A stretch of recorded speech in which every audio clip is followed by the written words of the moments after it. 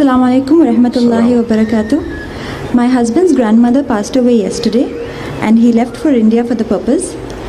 For at least some months, the emotions within the family will run very high and the relatives will advise about acts of worship that will benefit the departed soul. So I just want to ask you that what are the deeds that the immediate family and the extended family should be doing that will be accepted by Allah during this emotional time? MashaAllah, beautiful question, very important and pertinent. We need to go back to the hadith of Rasulullah sallallahu alaihi wasallam uh, regarding إذا مات ابن آدم انقطع عنه عمله إلا من ثلاث. When a person, when a human being passes away, his deeds are actually cut off except from three. Uh, one of them is uh, knowledge that the person has disseminated. It will continue, inshallah, as much as the people continue learning uh, and the fruits continue being reaped.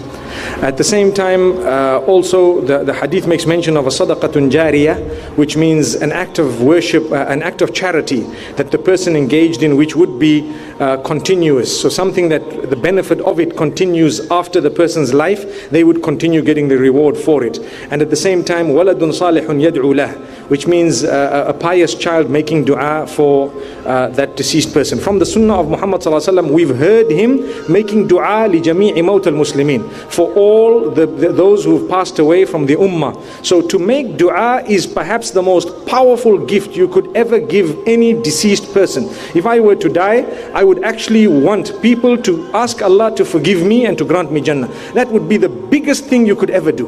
And continue to make the dua and make it again and again and ask Allah subhanahu wa ta'ala. However, if the person has had a debt, it would help if you were to contribute towards, you know, finishing up the debt.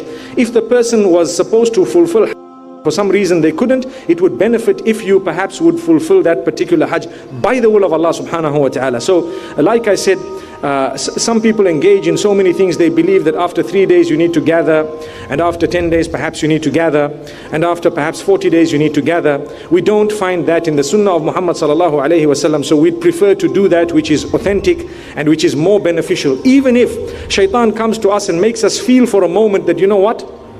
Um, uh, what you've done is very little, it's very light. Why don't you, you know, you do something much more? But to be honest, it's light and it's easy, but that's the most beneficial thing. It doesn't mean that because gold is right here and it's easy for me to get, that I must go and dig the stones from out there. The gold is right here, let me collect it. MashaAllah, that's Allah.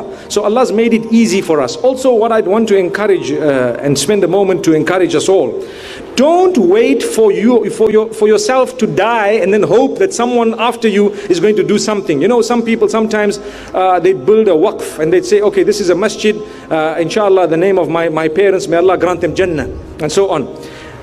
Do things in your life. In your life, read your Quran, fulfill your Hajj, you know, make sure your debts are all paid up and make sure whatever's happened, you know, your good, your charities, knowledge, you disseminate in a beautiful way. And inshallah, that will help much more than if someone else uh, were to come later on and do something claiming that, okay, this is on your behalf. May Allah subhanahu wa ta'ala help us and may He guide us in this regard. Uh, Jazakumullah khair, shukran for that question, my sister, and I hope the answer has helped.